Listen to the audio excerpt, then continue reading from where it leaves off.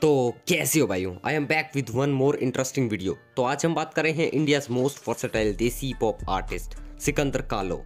A got himself a name जिसने क्या कर रखा है, वो मुझसे बेहतर आप लोग जानते हो। द ओ जी सिकंदर कालो के बारे में सम इंटरेस्टिंग बातें और एक सवाल कि 250 के लगभग सॉन्ग्स अपलोड होने के बाद भी why Sikandar Kahlon is so under one of the best DHH artist जिसका पेन गेम बहुत स्ट्रॉन्ग है। वाई स्टिल अंडर तुम्हारे सभी सवालों के लिए ये एक वीडियो काफ़ी रहेगी।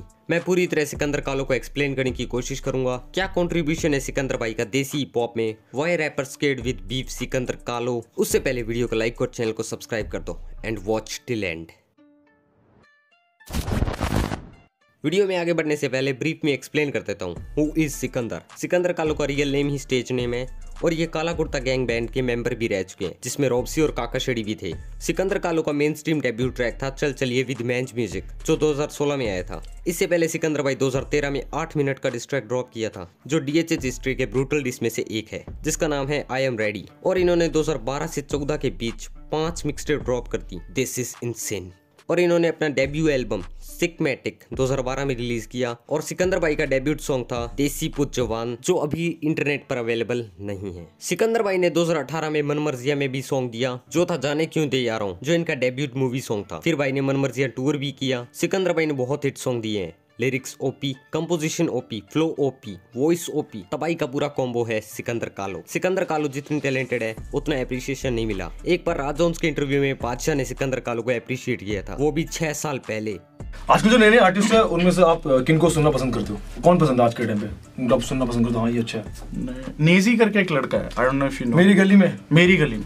मेरी गली उसको रिसेंटली हाँ। हाँ वो भी सोनी म्यूज़िक पे है? सो हाँ he is he is also from Sony Music तो उसको मैं काफ़ी टाइम उस, एक उसका गाना आया था आफत। तो यूट्यूब पे आ, आ, मेरे को किसी ने लिंक भेजा और उसके बाद मैंने सुना। आ, बहुत सही लगा। तो नीजी बॉम्बे से है वो लड़का। हाँ। और सिकंदर कालो है। सिकंदर कालो हाँ वो बहुत सही है। हाँ I think I think is मुझे I think is one of the best Punjabi rappers ही क्योंकि मैं ज़्यादा रिलेट कर सकता हूँ उसके साथ। वो भी मोहाली से है।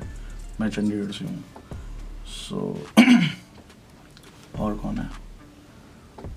बाकी कोई है नहीं खास। हम्म। ठीक मतलब देख सकते हो कितने टाइम से सिकंदर कालो नोटिस्ड थे और फिर बादशाह ने कोलैब भी किया कैलो के साथ ओपी कोलैब ब्रो और कोलैब्स की बात नेक्स्ट पॉइंट में।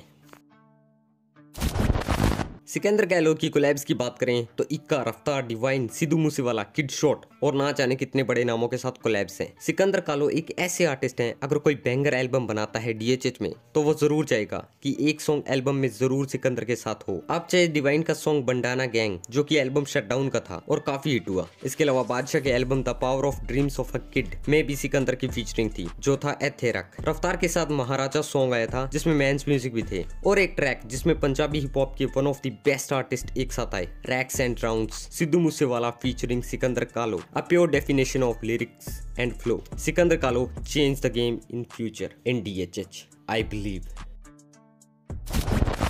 Sikandar Kahlon की बात हो और उनके लिरिक्स की बात न हो।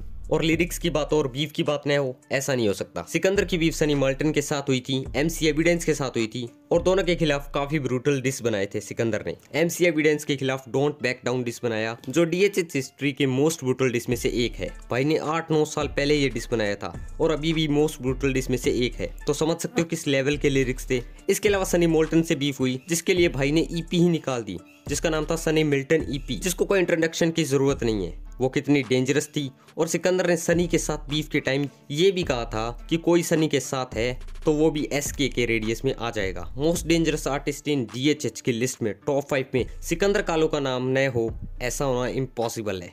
A lyrical game changer Sikandar Kahlon. अब आज के वीडियो के मोस्ट इंपॉर्टेंट पार्ट पर।